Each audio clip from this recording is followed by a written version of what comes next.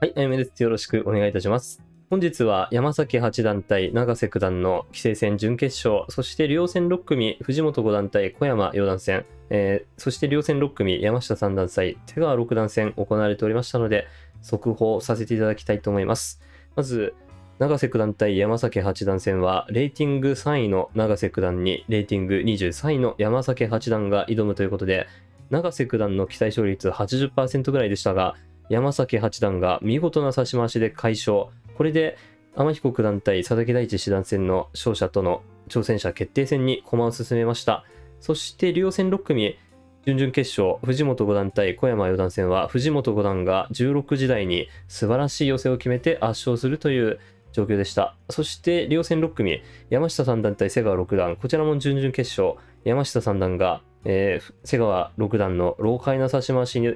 苦しんでましたが、最後は逆転して、プロも驚くようなすごい寄せを決めて勝利。あと2勝して優勝することができれば、四段昇段の権利を獲得するという状況になっております。ということで、一つ一つ詳しく見ていきます。まず、山崎八段対永瀬九段、棋聖戦決勝トーナメント準決勝でしたが、見事に山崎八段勝ちました。山崎八段は森内九段、渡辺九段、そして永瀬九段という強敵を倒しての挑戦者決定戦進出ということで、えー本当に久しぶりのタイトル戦、挑戦者決定戦進出、棋聖戦の帳決は山崎八段にとって初めてとなります。対戦相手は天彦九段対佐々木大地七段戦の勝者となります。天彦九段は最近振り飛車に覚醒して素晴らしい成績を収め続けております。佐々木大地七段は前期の棋聖戦挑戦者、果たして2期連続挑戦なるかどうかという2人ともどちらが来ても本当に強い相手ですが、果たして山崎八段挑戦なるかどうか注目でございます。ちなみに挑戦確率としては佐々木大地七段がこの中でレーティングが一番高く約40%、そして天彦九段が約35%、そして山崎八段約25%という確率になっております。山崎八段は、まあ、どちらが来てもちょっと分の悪い相手という形になりますが、その、もともと永瀬九段とか渡辺九段とか、えーかなり分が悪い相手だったので、えーその方々を倒して帳決まで来ておりますので、十分可能性ありそうです。果たして一体誰が挑戦するのか、皆さんの予想もぜひ書いていただけると幸いでございます。佐々木大地七段は皆さんもご存知のように藤井棋聖と前期当たっておりますが、天彦九段か山崎八段が来れば藤井棋聖とは初めてのタイトル戦番勝負となります。続きまして、こちらですね。えー、竜王戦6組ベスト16からご覧いただきますが、藤本五段が小山四段に勝ちまして、見事に竜王戦6組ベスト4進出となりました。次の相手は、谷谷四段対小森五段戦の勝者と対戦です。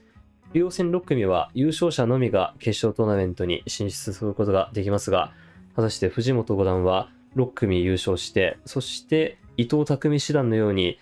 挑戦者決定トーナメント勝ち上がって、いきなり挑戦者になったりとか、そういうことができるかどうか注目です。まあ、仮にそうなりますと、藤本五段一気に七段まで昇段するという形になります。そして右の山、山下三段が瀬川六段に苦戦しながらも見事に逆転勝利。最後の寄せは本当に圧巻でした。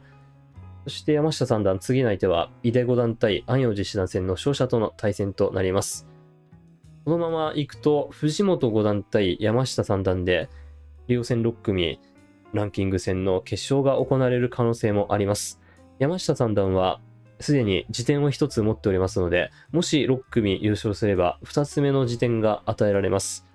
で、その時は、三段リーグが今期の三段リーグが終わった後に辞点が付与されますので、今期の三段リーグで高段点を取っていなければ、そのまま辞点2回目でフリークラス編入の権利が与えられると、そういう形になります。フリークラス編入の、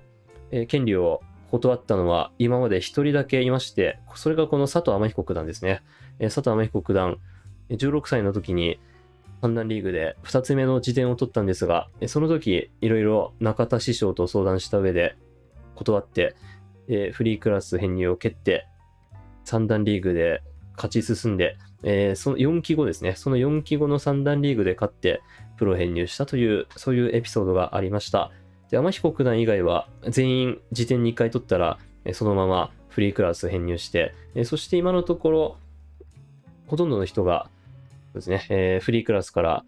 30曲以上指して、勝率6割5分以上という規定を満たして C 級2組に行くことができていると、そういう状況になっております。なのでおそらく山下三段も、もし、まあ、藤本五段とか、歴代勝率4位の藤本五段とか、かなり厳しい相手なので、えー簡単には優勝できないと思いますが、もし山下三段優勝した場合は、おそらく、まあ、権利行使するんじゃないかなというふうに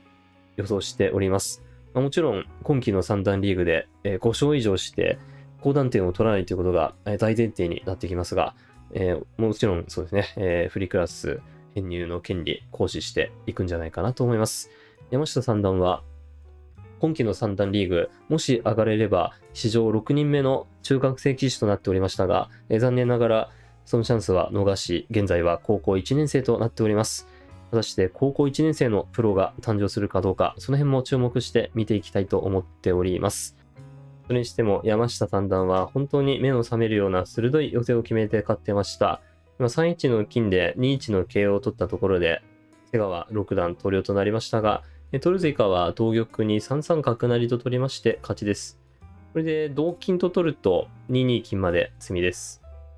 で、3三角成に2二金と打つと、えー3二飛車成ですね。これで積んでます。3二飛車成に仮に同金の場合は2三飛車成としまして、えー仮に同金なら、まあ、1二金と詰め将棋みたいな手筋で、えー仮に同香なら1一金3一玉4三桂までの綺麗な詰みです。1二金に同玉も2四桂と打ちまして、えー同金は2二金まで、2一玉も3二金、同銀、同馬まで詰みでございます。ということで、本当に見事な見事な寄せ、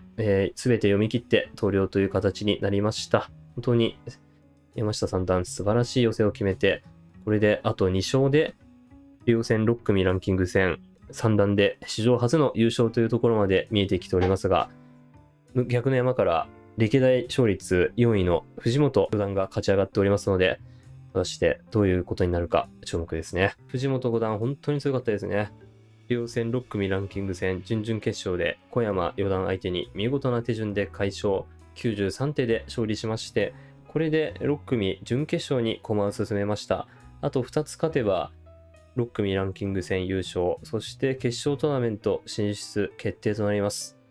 藤本五段がもし決勝トーナメント進出すれば伊藤匠七段が5組優勝してそのまま決勝トーナメント進出。そして挑戦者になったと。まあ、そういうまたシンデレラストーリーが見られるかもしれません。本当に楽しみですね。えーということで、投了時間の解説、まずさせていただきたいと思います。今、7一竜と藤本五段がやったところで、次の8二の飛車取りと1五の角取り、えー飛車と角、両取りかかってますが、まあ、どっちも受けることができませんし、また、そうですね、えー先手玉に迫るような手段もないというところで、藤本五段の勝利となりました。例えば3三角とやると8二竜と取りまして、で、8三金ならまあ7二竜とボロッと取られてしまいます。この8二竜っていうのが銀と金の両取りになっているというのが非常に痛く、まあ、ちょっと困ってしまうということですね。で、えー7一竜に、えー飛車取りを8三金のように受けたとしても、ボロッとこう1五歩と取られて、次3一角とやられてしまいますんで、王手金取りがかかってしまうので、まあ、いずれにしてもちょっとダメそうと。え6一香などと打っても、え3一角と打たれまして、いずれにしてもちょっとダメそうということがわかります。ということで、えこの7一竜で飛車と角の両取り、えで、また7六角と出て6六桂を狙っても、一例として7七銀と上がるのが手堅いでしょうか。6六桂には同銀と取ることができます。